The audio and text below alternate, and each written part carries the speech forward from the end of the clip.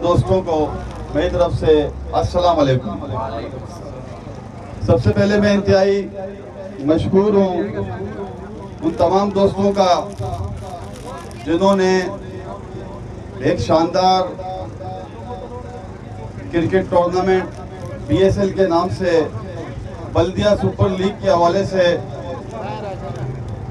यहाँ पर शुरू किया और जिसका आज फाइनल मैच है। तो काफ़ी लोगों को आपने एंटरटेन किया।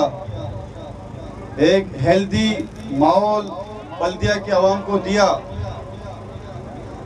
और इस तरह के प्रोग्राम हमेशा होने चाहिए, ताकि हमारी यूथ को स्पोर्ट्स से ज़्यादा से ज़्यादा आगाही हो और वो खेलों की तरफ़ अपना ध्यान मुतवजा करें।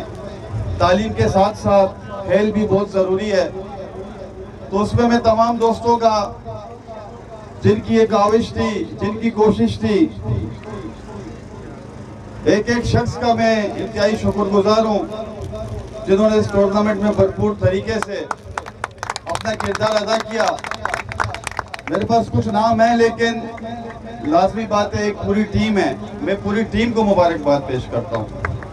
और उस हवाले से आसिफ भाई से पहले भी मैंने कहा था कि जो भी अखराज होंगे, उसमें हम भरपूर हिस्सा डालेंगे।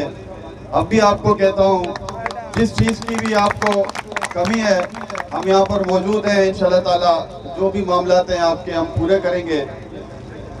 और इस ग्राउंड के हवाले से एक बहुत बड़ा तोहफा है बल्दिया के आवाम के लिए। बहुत बड़ा ग्राउंड है। कि आपको मालूम होगा कि बल्दिया के इर्द गिर्द के इलाकों में कोई ग्राउंड नहीं बचा।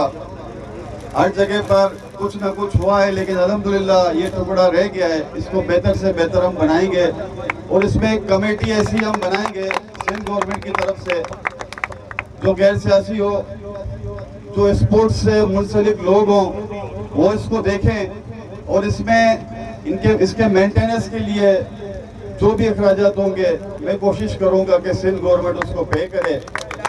और यहाँ पर बेहतर से बेहतर माहौल आप लोगों को दे सको।